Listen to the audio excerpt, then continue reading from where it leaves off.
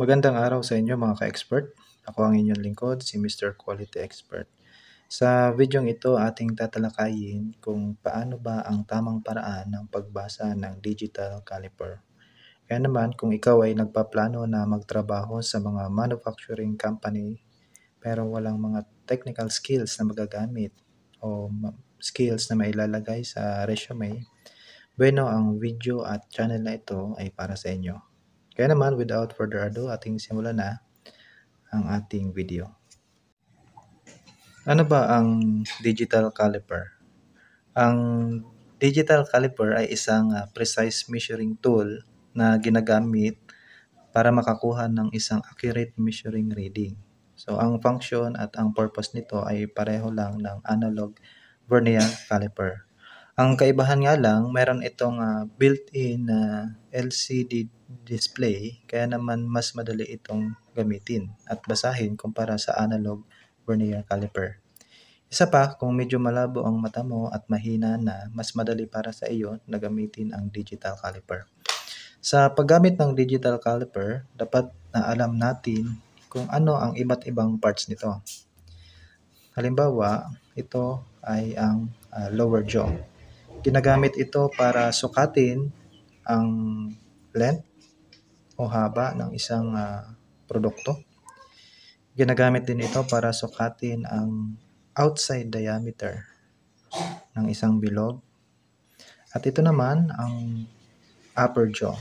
Ginagamit ito para sukatin ang internal diameter ng isang produkto.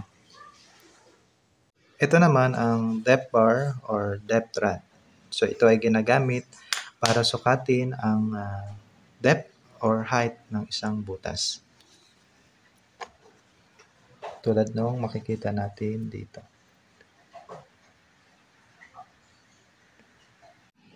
Ito naman ang head ng digital caliper. So ito ay ginagamit para sukatin ang corner or edges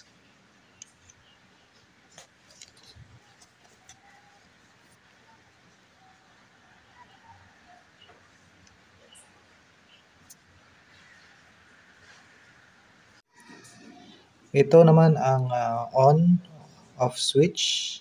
Ito naman ang inches mm switch. So ito ay pipindutin mo kung halimbawa ang gagamitin mo ay mm or inches. So pwede kang mamili. Halimbawa, ang gagamitin mo ay inches. Pindutin mo lang yan, long press. Then naka-inches na ang unit of measurement niya. Pero dahil sa nasa Pilipinas tayo, ang gagamitin natin ay metric system.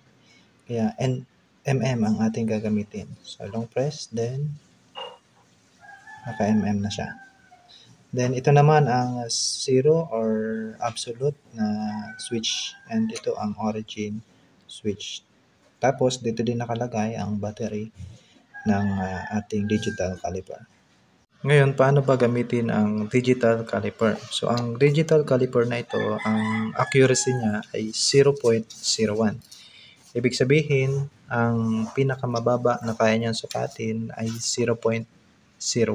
So, below 0.01, hindi na natin pwedeng gamitin na panukat ang digital caliper. So, bago natin gamitin ang digital caliper, siguraduhin natin na ito ay calibrated. Siguraduhin natin na ang uh, lower jaw niya ay walang mga deformation or crack. Dapat kapag sinasara natin ito, wala siyang mga clearances. Uh, totally closed talaga siya. Ganon din dito sa ating upper jaw. Kapag uh, sinasara natin ang ating uh, digital caliper, dapat wala itong mga clearances o wala mga cracks para sigurado na ang uh, reading natin ay accurate. At kailangan din siguraduhin natin na uh, walang deformation yung ating uh, depth rod bago natin ito gamitin. Ngayon, kapag nasigurado na natin na uh, calibrated yung ating digital caliper. Wala siya mga crack or deformation dito sa lower tsaka sa upper jaw at tsaka doon sa depth rod. Dito sa depth rod. So, uh, sunod natin gagawin ay uh, i-turn on yung ating uh, digital caliper. Pindutin lang natin yung on button. Pagkatapos natin mapindot yung on button, isara natin yung ating digital caliper Then, pagkatapos ay pindutin yung zero button. Yan. Sisiguraduhin natin dito na tuwing nakasara yung ating digital caliper, dapat ang lumalabas doon sa ating display ay 0 mm or 0 inches. Yan. Kasi kapag hindi 0 yung naka-display dyan, halimbawa, negative 0.01, 02, so yung accuracy ng ating data ay maapektuhan. Yan. Kaya kapag hindi 0 yung nakalagay dyan, tuwing nakasara yung ating uh, lower jaw, so pwede nating isara uli at pindutin yung 0. Yan. Kapag 0 na yan, pwede na tayo magsimula na magsukat. Ngayon sa pagsusukat, tulad nung sabi natin kanina, pwede nating gamitin uh, kung ano yung gusto nating unit of measurement. Pwedeng inches or pwedeng millimeter. So kung gusto nating palitan, pindutin na lang natin tong inches mm button.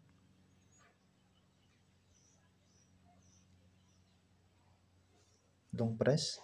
Then, makikita natin dito yung uh, unit of measurement na gamit ng ating uh, caliper ngayon ay naka-inches na, naka-IN na. Pero sa ngayon, ang gagamitin natin, since na nandito tayo sa Pilipinas, ang gagamitin natin ay mm, yung unit of measurement. So, long press uli. Then, naka-mm na siya. Okay. So, kapag uh, naset na natin ito lahat, pwede na tayo magsimula sa pagsusukat. Pwede na tayo magsusukat. I-check yung diameter, outer diameter. Pwede nating i-check yung length. Then, pwede na natin i-check yung uh, depth. So, magbibigay lang ako ng ilang tips sa paggamit ng ating uh, digital caliper. Kung ano yung mga dapat gawin bago natin ito gamitin. So una, kailangan nating siguraduhin na malinis yung ating uh, lower jaw at saka upper jaw bago natin ito gamitin. So paano natin ito uh, magagawa? So pwede tayong kumuha ng malinis na papel o kaya bond paper. And pagkatapos, pwede natin itong ipitin gamit yung ating digital caliper then slide lang natin kahit mga tatlong ulit na gawin natin ito uh, masigurado lang natin na malinis yung ating uh, digital caliper bago tayo magsukat so bakit ito mahalaga kasi kapag mayroong mga uh, alikabok o mga dirt dito sa ating uh, digital caliper pwede nitong maapektuhan yung accuracy ng ating measurement. Ngayon, magbibigay pa ako ng isang tips sa pagsusukat gamit ang digital caliper. So, ito ay kung ano ang tamang paraan pagsusukat ng outside at inside diameter. So, karaniwan na ang ginagawa ng marami kapag sa pagsusukat ng outside diameter, sinusukat nila yung outside diameter, then isusulat na yung actual reading. Pero hindi ito ang pinaka-accurate na paraan sa pagsukat ng outer tsaka inner diameter. So ano yung pinaka-accurate? So una, kunin muna natin yung X diameter.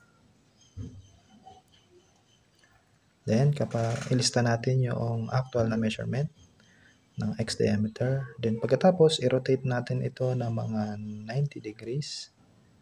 Then kunin uli natin yung Y diameter. Ganon din yung gagawin natin sa inner diameter. Check natin yung uh, X inner diameter. Then lista natin yung result. Then rotate ng 90 degrees. Then check yung Y inner diameter. Then uh, lista din natin yung result. So bakit ito mahalaga? Bakit mahalaga na kunin natin yung inner o yung x and y diameter. So, dito malalaman natin kung yung butas ba natin ay oblong o hindi. So, machi-check natin ito. Kung circle ba o oblong yung isang produkto, isang butas. So, yun lang para sa video natin sa araw na ito. Ito muli si Mr. Quality Expert at sana marami kayong natutuhan sa uh, tutorial natin sa araw na ito. At ganoon din, huwag niyong kalilimutan na mag-subscribe at i-like ang ating video at pindutan na din ang notification bell para lagi kayong updated sa mga susunod natin na mga video. Yun lang. Sa muli. Bye-bye.